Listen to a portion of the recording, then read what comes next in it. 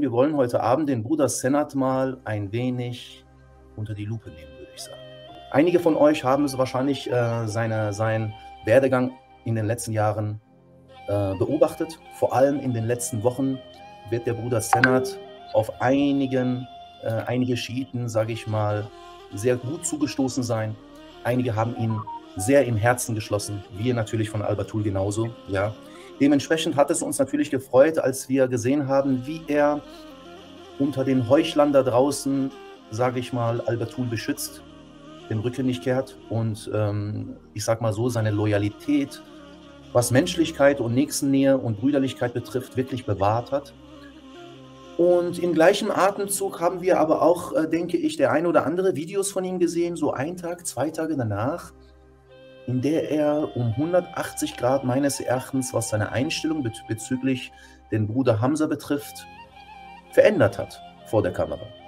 Also er hatte einige Tage zuvor so gesprochen, danach auf einmal anders. Ich, ich persönlich empfand das sehr, sehr traurig, es hat mich wirklich persönlich traurig gemacht, weil ähm, ich persönlich von Senat sehr, sehr, sehr viel halte. Und ich wünsche mir, ich wünsche mir, dass er die, den wahren Weg des Islams für sich äh, kennenlernt, für sich findet. Und vor allem wünsche ich mir, dass der Bruder Senat ähm, nicht zu den Personen gehört, welche ihre Religion danach aussuchen, wo die Mehrheit ist, wo seine Freunde sind, wo seine Bekannte sind wo es Ruhm gibt, wo es eventuell Zeit gibt, vor allem Geld, ja. Ähm, gerade in, in der heutigen TikTok-Zeitalter, ich und der Bruder Hamza mussten selber davon auch ein bisschen ähm, an Erfahrung gewinnen, dass es äh, schon einem sehr, sehr schnell packen kann. Ne? Wenn ich da einfach im TikTok live gehe, ich drücke einfach nur auf Live und ich habe genügend Follower. Manchmal kann man sich einfach auch schlafen legen, ne? dann hat man Geld verdient. Und vor allem ist es ja bei TikTok so, dass äh, die TikToker alle irgendwie so nach oben schauen, diejenigen, die wirklich sehr, sehr viele Umsätze generieren. Jeder versucht irgendwo viele Follower zu haben und vor allem auch jeder versucht seine Follower nicht zu verlieren. Ich finde das gut, wenn man versucht, seine Follower nicht zu verlieren. Ich finde es auch gut, wenn man bestrebt ist, Follower zu gewinnen. Was aber sehr gefährlich wird, liebe Geschwister, ist, wenn man koste es, was es will, versucht, seine Follower nicht zu verlieren. Das heißt, wenn man, dass es einem irgendwann mal darum geht, seine eigenen Prinzipien zu brechen, ja, um einfach, sage ich mal, seine Anhänger weiterhin zu bewahren. Und das ist eine sehr, sehr gefährliche Angelegenheit.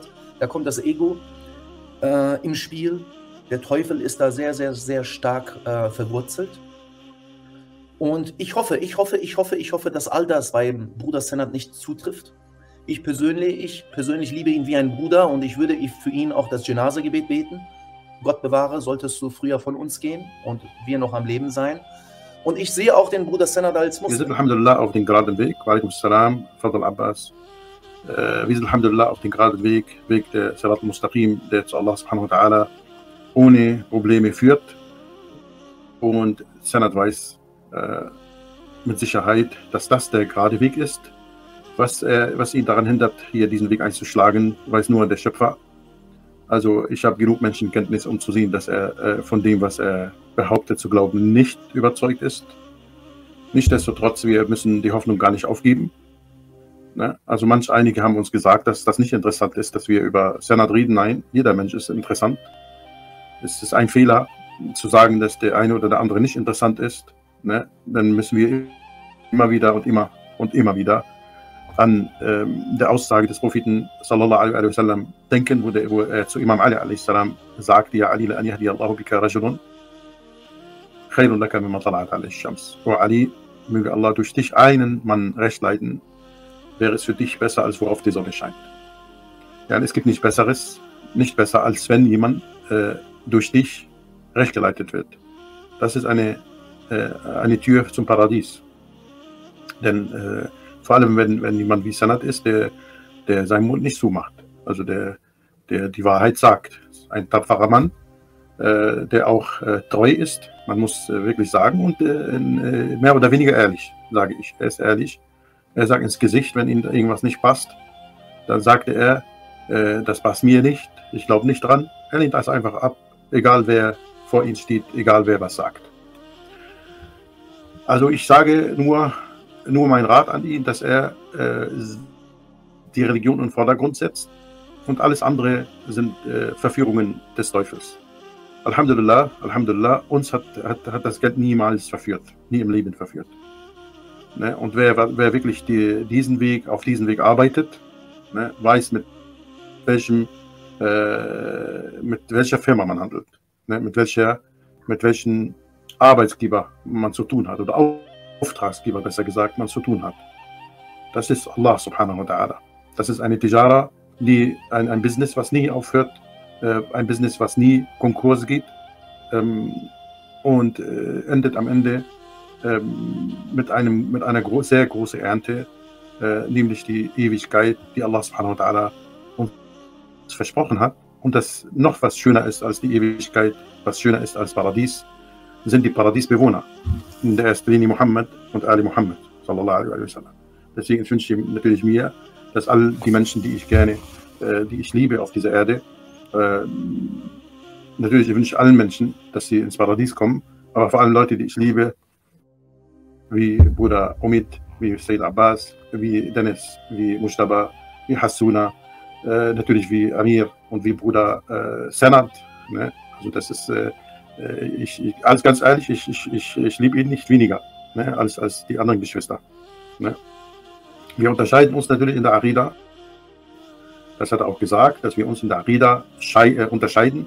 Und aber er hat was noch gesagt, nämlich was, äh, was man besprechen muss, natürlich. Ne? Also, äh, dass er mich nicht für Allah liebt.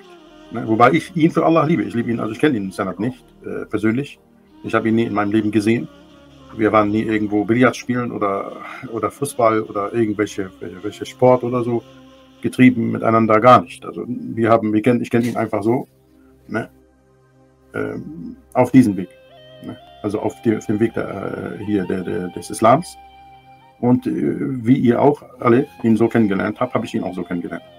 So, deswegen ich sage, äh, ich, ich liebe ihn für Allah, subhanahu wa ta'ala, in der ersten Linie für Allah. Und deswegen lade ich ihn zum geraden Weg ein, zu Salat Mustaqim ein. So, er sagt, weil ich nicht hier mit ihm in der Aqidah, äh, weil ich mich dort nicht befinde, dann liebt er mich nicht für Allah, sondern äh, ich bin nur sein Bruder, weil wir beide Kinder von Adam sind. Das heißt, wie Christen und Juden bin ich auch. So. Das ist natürlich ein, ein großer Fehler, den muss er korrigieren, nicht meinetwegen, seinetwegen, ne, weil das äh, schadet mir nichts, das schadet mich nicht, also wenn jemand mich nicht äh, liebt oder, oder, oder mich mit den Christen und Juden vergleicht. Ne. Alhamdulillah, ich bin derjenige, der diese Menschen auf dem Weg auch einlädt, also Juden, Christen und alle anderen Andersgläubige und auch Atheisten hat man schon gesehen, ne, dass bei uns hier Atheisten auch gerne auftauchen und äh, die werden auch hier zu diesem Weg eingeladen. Aber nicht nichtsdestotrotz, wir wissen, der Prophet, äh, der Prophet sallallahu alaihi hat niemand von seiner Umma ausgeschlossen. Deswegen nannte er sie meine Umma, Sataftarik Ummati. Meine Umma wird sich in 73 Gruppen äh, spalten. Ne? Also 73 Gruppen sind Muslime, die Umma des Propheten sallallahu alaihi wasallam. Deswegen wäre das ein Fehler zu sagen, dass Shia Hamza oder, oder die Schiiten, Rawafid gehören nicht zu, zu der Umma. Nein, wir gehören Alhamdulillah zu der Umma. Vielmehr sind wir, sind wir Stamm dieser Umma und wir sind keine Gruppe. Das ist ein Fehler zu sagen, das ist eine islamische Gruppe. Nein, wir sind Alhamdulillah die Umma für sich und die anderen sind von uns, äh, haben sich von uns getrennt.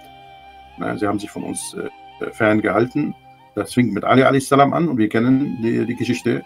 Ne, Ali a.s. ist Maßstab, Ahlul Bayt a.s. sind Maßstab, sind diejenigen, die Allah, die der Prophet sallallahu alaihi hinterlassen hat. Und wer an sich an denen hält, wie wir letzte Woche mitbekommen haben, ne, bestätigt haben, wer sich an Ahlul Bayt hält, wird nicht in die Irre äh, gehen. So. Und somit ist äh, natürlich alles äh, klar und deutlich, dass jeder, der nicht äh, Ahlul Bayt folgt, mit dem Koran natürlich zusammen, äh, entfernt sich von, den, äh, von, der, von, von dem Salat Mustaqim. Also hält sich von dem Salat, weicht von dem Salat Mustaqim ab. So, das ist Salat Mustaqim. So, das ist Maßstab. Und wir dürfen natürlich kategorisieren, wir dürfen sagen, wer ist Muslim, wer ist nicht Muslim, wer ist Muschrik, wer ist nicht Muslim, Muschrik, wer ist Monafik und wer ist nicht Monafik, nicht die anderen. Und die anderen sind Sekten entstanden, viel, also viel später sind das entstanden, politische Sekten. Viel mehr sind das politische Sekten, äh, die mit dem äh, Islam verkleidet sind. Ne? Die sind verkleidet einfach nur mit dem Islam. Sie sind vergoldet, also sind nur wie Gold aus, sehen nur wie Muslime aus, aber äh, natürlich, solange sie die Shahada aussprechen, sind die Muslime. Das streiten wir ihnen das nicht, also wir streiten ihnen das nicht ab. Aber natürlich, das ist der falsche Islam, sagen wir. Trotzdem sind das unsere Geschwister. Ne? Das sind unsere Geschwister, die, die in die Irre gegangen sind. So, wir, wir, Alhamdulillah, wir sind im Klaren. Wir wissen ganz genau, was wir sagen. Wir, wir, wir spekulieren nicht. Sind das unsere Geschwister? Mal, mal, ist er, man nennt er mich Bruder, mal nicht Bruder. Mal äh, bin ich Muslim, mal bin ich nicht Muslim. Ja, die wissen das nicht. Deswegen, äh, wer, wer nicht orientiert ist, das soll ein Signal für ihn sein, dass er nicht auf dem geraden Weg ist. Ja? Weil er kennt ja, also er hat selber mehr öfters äh, zugegeben, dass er seine eigene Religion nicht kannte. Ja, nee. Es gibt Fakten, Fakten, es gibt Regeln, die er nicht selber, äh, selber nicht kannte ne, die er von mir gelernt hat. So, nicht nur er, sondern auch viele, also von den äh, seiner Gleichgesinnten. So. Nichtsdestotrotz, ich kenne ihre Religion besser als sie. So. Das hat mich äh, auf gar keinen Fall überzeugt. Ne? Diese Religion hat mich gar nicht überzeugt. Äh, da ist wirklich, also wenn man die beiden Wegen kennt, richtig kennt, also äh, nicht so oberflächlich, sondern gründlich kennt, dann äh, wird man nie aufhören, Alhamdulillah zu sagen, dass ich ein Schiite bin. Dass ich mich auf diesem Weg befinde. Ne? Nichtsdestotrotz, ich sage, wie Allah subhanahu wa ta'ala sagt, أَفَمَنْ يَمْشِ مُكِبًّا عَلَى وَجْهِهِ أَهْدَى أَمَّنْ يَمْشِ سَوِيًّا عَلَى صِرَاطٍ مُسْتَقِيمٍ Deswegen, ihr seht, ich rede einheitlich. Seitdem wir in der Öffentlichkeit sprechen, äh, habe ich mich Alhamdulillah nicht widersprochen, weil ich davon überzeugt bin, was ich sage. Was ich früher gesagt habe über Aisha, sage ich heute. Ne? Was ich früher gesagt habe über Omar, sage ich immer wieder. So, die Redeart, also viele denken, Hamza äh, sagt nicht die Wahrheit, er macht Taqiyya. Ja, warum soll ich Taqiyya machen? Von wem soll ich denn Angst haben? Wem soll ich fürchten? Wem? Ne? Also derjenige, der wirklich das denkt, der kennt mich nicht. Das ist keine, ich brauche keine Taqiyya, ist nicht nötig. Also für mich ist Taqiyya, also momentan, also im Moment, in, in dieser Lage, bis jetzt habe ich kein Taqiyya gebraucht, Alhamdulillah. Brauchen wir ja nicht. Taqiyya, obwohl das, das zugelassen ist. Es ist erlaubt, die Taqiyya zu machen. Aber habe ich das nicht nötig? Ja, er sagt nicht, was, was in seinen Büchern steht, weil, und, und, und äh, beziehungsweise, ja, das steht bei denen und deswegen bin ich Muschrik. weil das bei uns nach seinem Verständnis, das sind kleine Kinder, die sich hier in, in, in, TikTok treffen. Und denken sie, dass sie ja super Leute geworden sind, weil sie ein paar Fans haben. Sie wissen nicht, dass das hier Tänzer mehr Fans bekommen als sie in TikTok. Dass äh, hier Sch äh, Scherzkekse also äh, mehr Fans bekommen als sie. Was sind das für Leute? Die, also so, so, wie interne als auch externe Leute. Ich, jetzt, ich kritisiere jeden, der, der denkt, er ist was geworden dadurch, dass er äh, eine, gefolgt wird von ein paar tausend Leuten, ne, die gezwungenermaßen ihn vielleicht sehen. Denkt er, oh, ich, ich habe mich entdeckt heute, ich bin irgendwas Besonderes. Nein, du bist nichts, Habibi. Diese, dieses, dieser, dieser Plattform ist, ist, ist, ist, ist, ist, ist eine, Art, eine Art Geschäft sozusagen. Ne, der eine folgt dir, damit du ihm folgst. So, und wenn du ihn folgst, hat er genug äh, Followers, damit er äh, hier, sagen wir, äh, erscheinen kann, damit er was verkaufen kann, damit er auch mehr Geschenke bekommt und dies und jenes. Sowas hat uns nie, nie verführt. Alhamdulillah. Und das brauchen wir ja nicht. Wir brauchen nicht auf, den, auf dem Weg des Islams das zu machen. Also Geld gibt es überall zu bekommen, ne? anderweitig. Dafür hat, hat man Arbeit, hat man Job. Ne? Alhamdulillah. Und Allah subhanahu wa ta'ala ist Khairul Razirin. Natürlich, das ist, das, steht, das, das ist erlaubt. Also es ist erlaubt für einen Turban-Träger zum Beispiel irgendwo eine Ehe zu schließen und dafür Geld zu bekommen. Irgendwo eine Janaza zu verrichten, äh, für jemanden zu verrichten und dafür auch Geld zu bekommen. Er bekommt seinen, seinen Lohn. Ja, das ist nicht haram, nicht, nicht verboten, in der, äh, sagen wir, in der Religion zu, zu arbeiten. Das ist nicht, nicht haram. Aber viele äh, wissen nicht, wer in dieser Dunja seinen Lohn bekommt, bekommt seinen Lohn nachher. Deswegen muss man sich entscheiden. Und deswegen habe ich mich entschieden, ohne irgendeinen Turban zu tragen, ja, das ist das leichteste, das leichteste von der Welt, Turban auf, aufzusetzen und, ja, nee, und zu predigen. Das ist, äh, das hätte ich mit, mit äh, in meinem jungen Alter machen können. So habe ich aber nicht gemacht. So, das heißt, ist, ist, ist, das ist nicht mein Job, sondern das ist äh, meine Religion und ich handle nicht damit. Alhamdulillah. Wenn wir in TikTok gehen, wir gehen inshallah, damit wir unsere Jugendlichen äh, retten. Mehr nicht. Damit wir äh, uns mit den äh, angeblichen äh, Gelehrten von der anderen Seite zu konfrontieren. Ne? Wer was drauf hat, soll kommen. Diese Herausforderung bleibt bestehen. Und das wird so bestehen bleiben, inshallah, wenn wir dann äh, aktiver in, in TikTok werden. Ne? Oder auch, egal was für eine Plattform von heute auf morgen auftaucht, werden wir dort inshallah sein. Ne? Bis Allah subhanahu wa ta'ala seine Amana, also uns äh, nimmt von dieser Dunya so wie gesagt, also das ist, das passt natürlich für, für, für, für Senna, dieser Vers, Vers 67, also äh, Kapitel 4, also 67, Vers äh, 22, das ist Surat al-Mulk.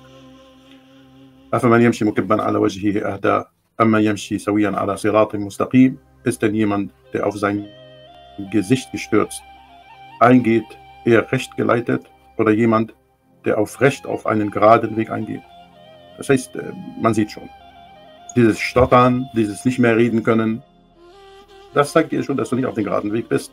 Und das habe ich einmal gesagt, du bist nicht schwach, sondern du bist stark. Aber die Fahne, die du trägst, das hast du versucht nachzu, nachzuplappern, ne, ist schwach. Weil das, dein Weg gehört zu den restlichen äh, äh, Gruppen, also von, von den 73, gehört zu den verlorenen Gruppen. Ne? Alle. Alle, die nicht äh, äh, Rawafid sind, alle, die nicht Schiiten sind. Ne? Weil das jetzt modern geworden, über Rawafid zu sprechen. Rafida, Rafida, sie wissen nicht, wie, was, was für ein Lob ist das, mit Rafida äh, bezeichnet zu werden. Ne? Wir sind die Leute wirklich mit Stolz, sagen wir, wir sind Alhamdulillah Rawafid, wir sind Ablehner, wir lehnen ab, wir sagen Nein zu den Tyrannen, wir laufen nicht mit den Tyrannen. Und er soll für mich bestimmen, welche Religion ich, ich nehme und welche ich lassen soll, so wie bei denen. Wir haben keine Staatsreligion gehabt bis jetzt, Alhamdulillah. Unsere Religion ist Religion des Propheten Muhammad sallallahu alaihi wasallam und ist so geblieben und es wird so bleiben, bis die Erscheinung stattfindet, bis der Imam salam erscheint.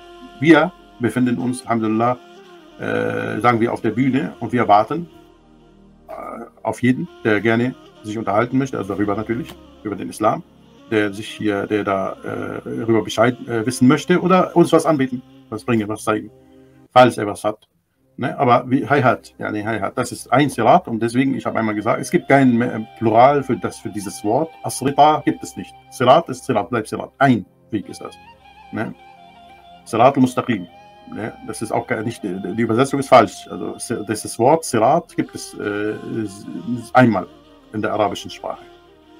Ne? Und das ist der Name von dem geraden Weg, der dich zum Paradies führt. Sirat al-Mustaqim. حنفيه وهي شو بذاك هذا رسول الله صلى الله عليه وسلم ذاك الفعلي عليه السلام يا علي أنت صراط الله المستقيم. يا علي دوب الصراط الله المستقيم. بس از علي عليه السلام از انشايدنت